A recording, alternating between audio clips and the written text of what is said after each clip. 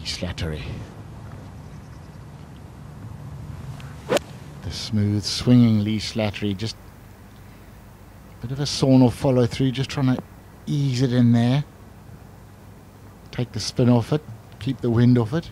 Just putting into that back left corner today.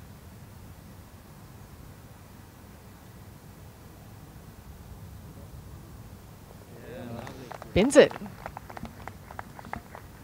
Tidy little birdie. Gets to three under the cart. Slattery. Second into 12 for Lee.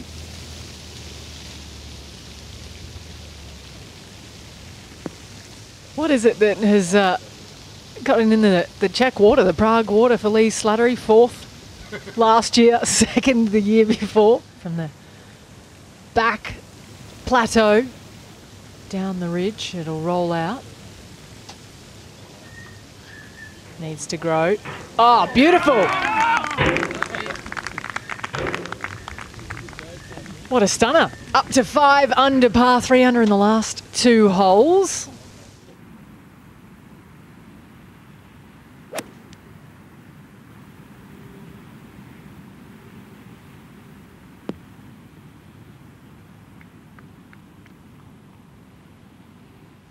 This for a birdie. Stroke good, just overread it.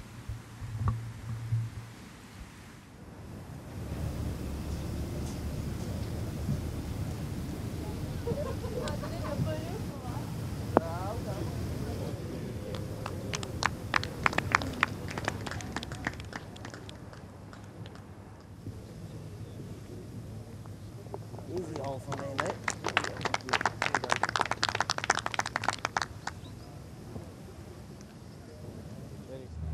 Par putt. Here for Lee Slattery at 17, and she goes. And onward he goes. Stays at six under.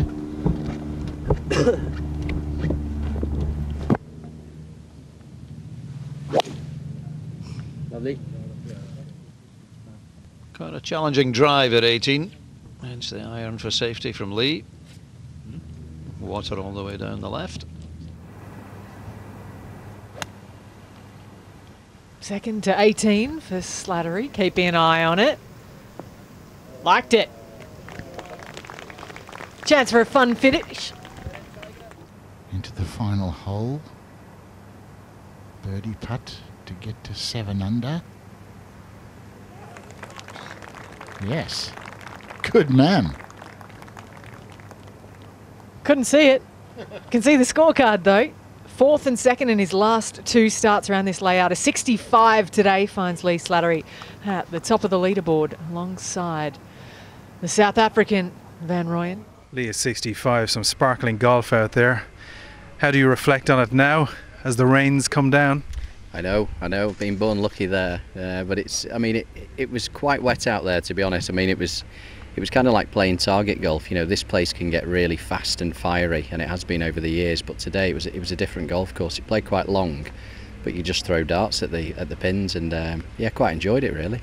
Bird Eagle on 11 12. Talk to us about those putts. Yeah, I know. Yeah, well, well, the one on eleven, uh, you know, I played the hole pretty well. I had one four nine into the wind with my second shot after a good drive, and uh, managed to get it in there to about 18 feet and hold a really nice putt. Um, and then next hole, I mean, playing with two bombers today, Burmester and Pulkkanen. Um, I, I couldn't catch them all the way around, but I managed to hit a good one down there. It, it gave me the option of going for it, and I decided I was going to take it on. Um, hit a lovely three wood, middle of the green, hold about a, a 45, 50 footer down the slope. So that that was definitely the turning point in the round.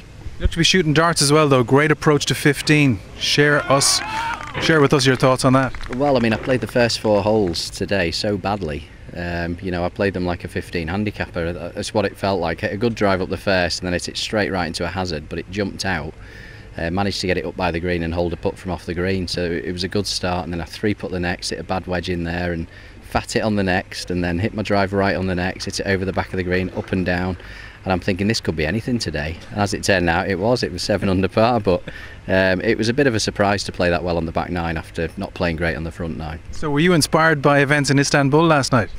I did actually stay up and watch that. I shouldn't have, but uh, I stayed up and watched it, and yeah, I mean, just, I mean, I had butterflies in my stomach more than seeing it up in the US Open. You know, you just want them to win as many trophies as possible. Uh, but that was, it was brilliant last night. Could have gone either way. Right, you're off to a perfect start here. Well done. Thank you very much. Thank you. To watch European Tour video, click here, subscribe, click here.